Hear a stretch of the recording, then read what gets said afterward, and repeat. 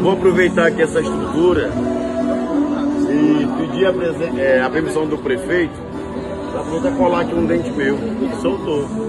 Sou ser humano também. Mas ó, viu como eu preciso de vocês?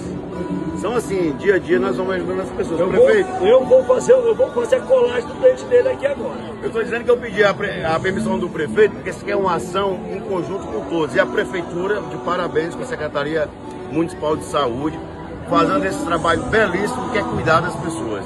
É e isso aí. eu, como sou cidadão, estou precisando de um cuidado. E a prefeitura atentamente vai me atender agora.